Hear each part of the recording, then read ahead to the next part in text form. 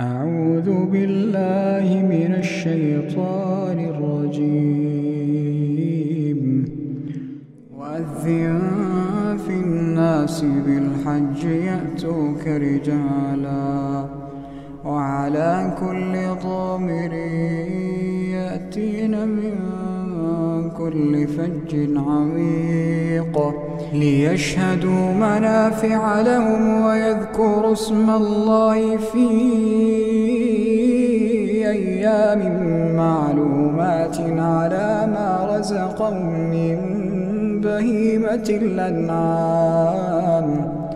فكلوا منها وأطعموا البائس الفقير. ثم